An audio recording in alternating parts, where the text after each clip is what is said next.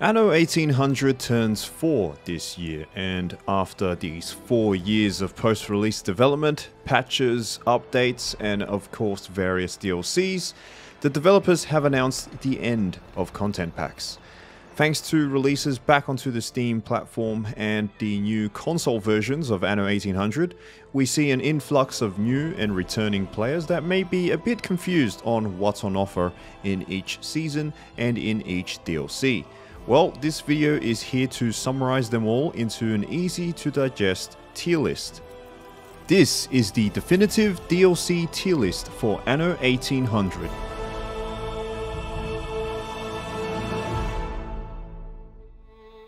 In general, I find none of the DLCs outright bad. It's a testament to the game and devs that each and every DLC has their own appeal for any type of player. But after hundreds of hours of playing, testing, and evaluation through the four years and all four seasons, this is an opportunity to re-evaluate all the DLCs against each other once and for all definitively. All gameplay oriented DLCs will be considered, including the Day 1 Anarchist DLC and all seasonal packs from Season 1, 2, 3, and 4. We'll also provide our standalone scores for each DLC that we rated on release, and our re-evaluated scores for 2023 against their price, as a further metric for players to form their own opinions. If you want a more in-depth review on any of these seasons, be sure to check out our Anno 1800 review series, totaling 3 hours of content that breaks down every single aspect of the base game and its DLCs for a full and expansive analysis. But in this video, we'll be categorizing the gameplay DLCs into each of these four tiers. Tier C, optional. These are generally DLCs that have limited application to the holistic Anno 1800 experience and are mostly geared towards flavor and lack synergy with many other DLCs. Players should consider grabbing these at their own discretion. Tier B are our recommended expansions. Most players will have great mileage with these DLCs as they contain decent gameplay additions that will be useful and flavorful, meshing well with other content packs and thus worth a purchase for anyone. Tier A is our essential listing. Anno 1800 should be bundled with these DLCs because they frankly introduce too important of mechanics, too fundamental to the gameplay experience. And finally, we have our tier S. We've reserved this tier for the premier selection of DLCs that represent the best of them all. Don't even bother launching the game without these installed. Tier C starts off with Season 1's Botanica. Introducing the Botanical Gardens building, this modular cultural building plays very similar to the base game's zoo and museum, allowing players to showcase a variety of exotic flora acquired from trade, expeditions, and the World's Fair, with completion of theme sets providing global bonuses. It's another great collect them all incentive Anno 1800 does so well. Botanica thus adds much greenery and vibrancy to the city landscape, especially with its music pavilion and other miscellaneous ornaments. Though ultimately, this is almost a purely cosmetic DLC that will appeal to players looking to add more natural beauty to their cities, but mileage will be limited for those focusing more on gameplay. Botanica is a very flavorful and pretty DLC, but it's completely optional. Another gorgeous looking DLC that has unfortunately been overshadowed by later expansions is The Passage. Introducing a new region in the Arctic, this peaceful yet somber region is the setting for a side story inspired by the lost expeditions of HMS Erebus and HMS Terror as they attempted to find the Arctic Northwest Passage. New population tiers in explorers and technicians can be housed in this region to extract Arctic gas, another source of fuel for electricity, and construct airships, a new form of transport. But with small islands and the issue of cold weather, keeping populations warm and cozy in the limited amount of building space will be an interesting challenge for players.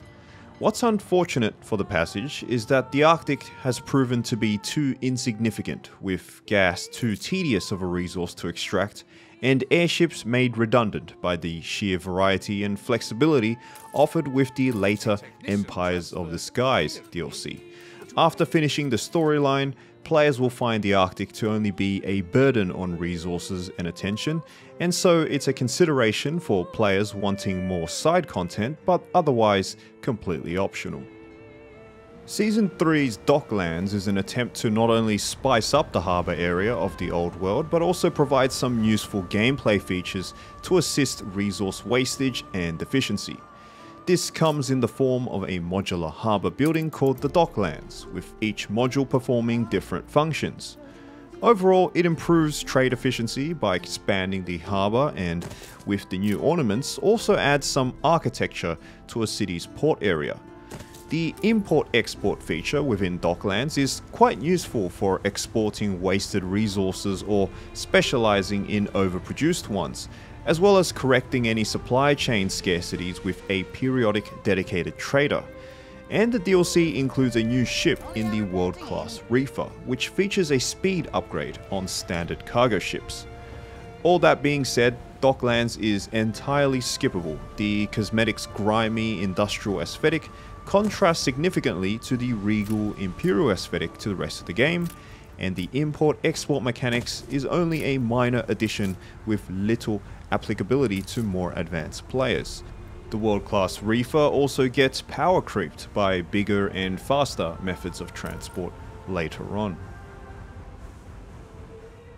First on our Tier B recommended listing is the Anarchist Day 1 DLC, Mostly, the reasoning is because it is quite a unique concept that is fairly different from the other DLCs by introducing a new AI opponent in Dr. Hugo Mercier, alongside access to exclusive quests and mechanics and a range of new items. Although it's not explicitly detailed, I find that Hugo Mercier is one of the more challenging AI opponents, even if he is only rated Advanced or the second highest difficulty setting.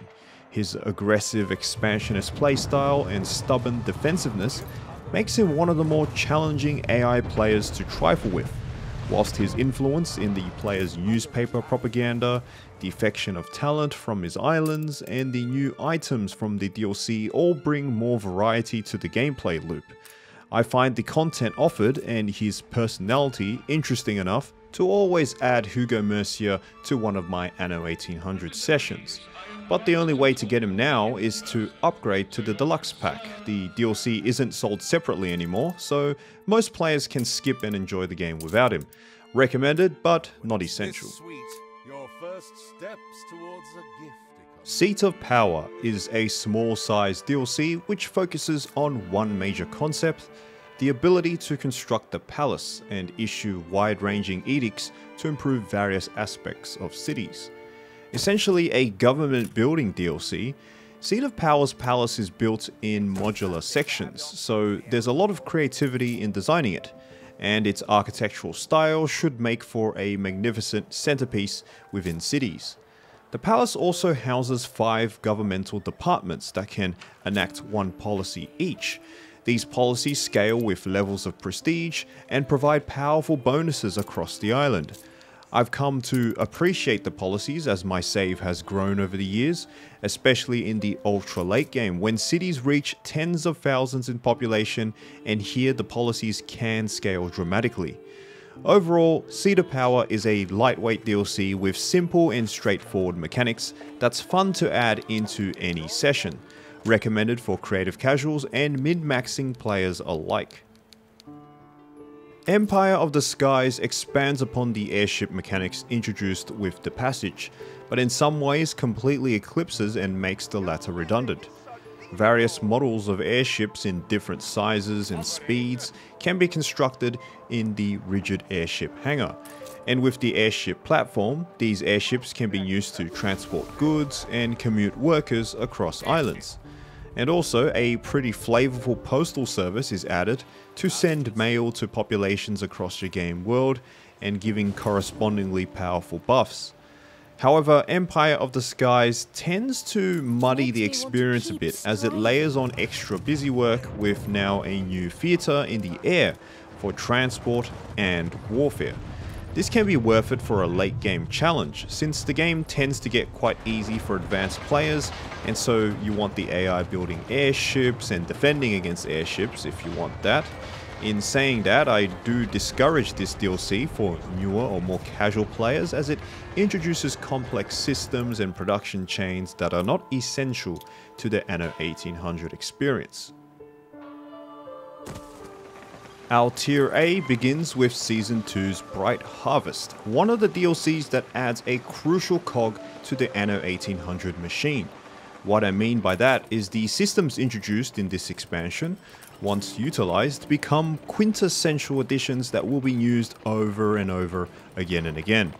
The addition of the silo for animal farms and tractors for plant farms dramatically increases their productivity, a massive mathematical net gain that sees huge efficiency boosts for the entire agricultural sector. This DLC does have its fair share of complexity, especially around strategic placement, but in the long run, players just save so much space that Bright Harvest is an essential and cheap DLC inclusion. It's just the overall well-designed DLC that is vital for any deep playthrough into Anno 1800. Season 2's Land of Lions is quite possibly the largest content expansion of Anno 1800, featuring a new African-inspired region with new production chains, population tiers, mechanics, and several storylines. The theme and atmosphere of this DLC brings a unique flair and diversity to the game that makes it a standout inclusion. The region of Enbesa is beautifully crafted yet challenging with its lack of arable land, requiring the use of the new irrigation system. Furthermore, it adds a university district for cities, with the introduction of scholars and the Research Institute. Here, players can identify and produce items, recruit talent, or acquire cultural artifacts. And they can research revolutionary concepts like the Great Eastern Ship with its massive 8 item slots, change deposits and fertility by mastering nature, or produce coffee, rum, or cotton directly in the old world with new production methodologies. Frankly, the research system is one of the required features of Anno 1800 in retrospect and why this DLC is considered essential. The major concern to Land of Lions is its extreme amount of bloat. It's probably the most complex out of all the Anno 1800 expansions, so it's quite tedious to sift through all the content, with a steep learning curve to boot. So even though I consider it an essential DLC, I think retrospectively it may have been better to split this DLC apart into two smaller ones, with one covering the university system and another covering the Enbesa region, especially given it is the most expensive Anno 1800 DLC. Nevertheless, there's plenty of discovery and exploration in Enbesa, this expansion offering a heavy amount of adventure-like story and world-building content. If you thought base game Anno 1800 was a bit light on the aspects of tourism, then Season 3's tourist season is right up your alley. Attract tourists into your city with hotels, build restaurants, cafes and bars, and place bus networks so tourists can travel around to all the wonderful attractions your city has on offer. And of course, build your own version of the Parisian Eiffel Tower as another centerpiece monument of your city. Tourist Season is just a fun and upbeat DLC. The great thing is, it encourages players to build up their cultural projects and gives a purpose for fleshing out zoos and museums.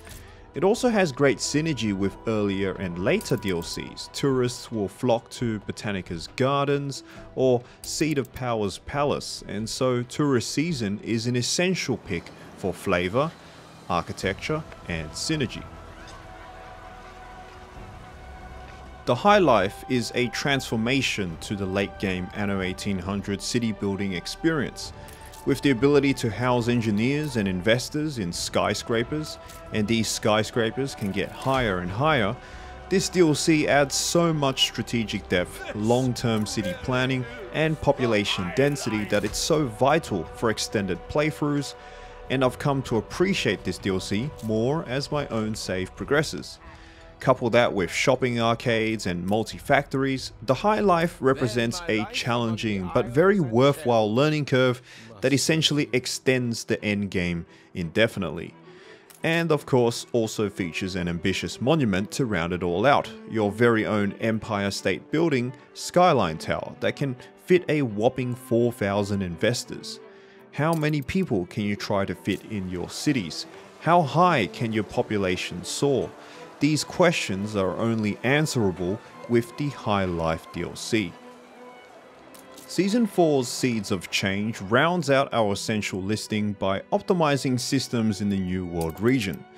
The Hacienda Complex is a modular, all-in-one solution that serves as a policy hub, warehouse, population center, agricultural plantation, and brewery. Space, efficiency, and centralization are the core themes of this DLC, and it attempts to create a unified city center for the New World colonies. Furthermore, it adds a whole new system around fertilizer.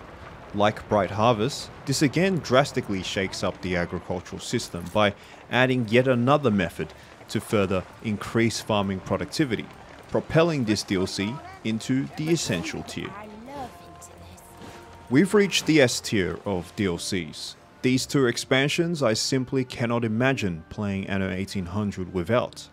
The first is Season 1's Sunken Treasures, and the major reason why this DLC is in this category is the addition of the Cape Trelawney region, an alternative old world region that includes Crown Falls.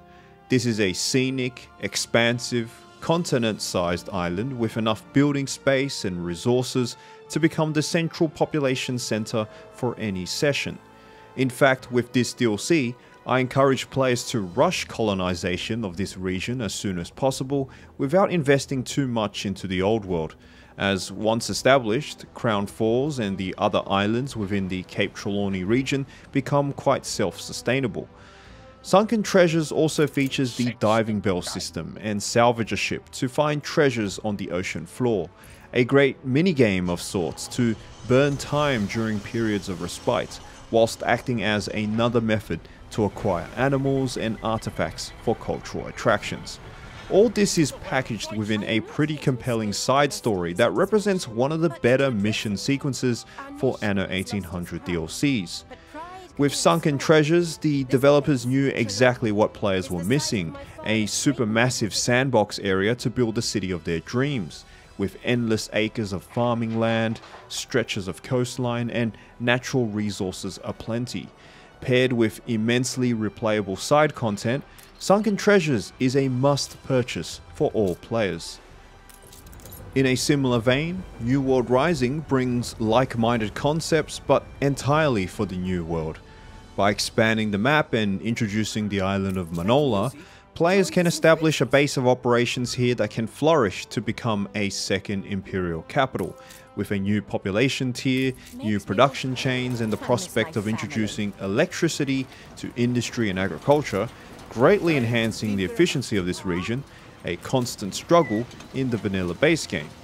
New World Rising also features two monuments in the Hydroelectric Dam and Grand Stadium as worthy and powerful endgame projects. If you ever found the New World to be lacking in entertainment and often thought it was just a side theatre to exploit resources from, then New World Rising flips that idea on its head by dynamically transforming the region into an extension of your empire rather than just a foreign colony. With Manola, there is a potential for it to be a vibrant cultural hub that will be sure to steal the player's attention and serve as a secondary theatre in the gameplay loop. And that's our tier list. It's subjective of course, but this list should serve to be a better indicator of Anno 1800's diverse DLCs, even if mileage will ultimately vary for a lot of players. Again, no Anno 1800 DLC is inherently bad, and if you want the full experience, this is one of the very few games where I can say that owning all the content expansions is potentially worth it. I'd love to see other people's thoughts on the entire Anno 1800 catalogue, so feel free to share your own tier list in the comment section below. If you've enjoyed today's content, like and subscribe for more reviews and analytical videos from a wide variety of games. If you want to support us even further, you can pledge on our Patreon for as little as a dollar a month.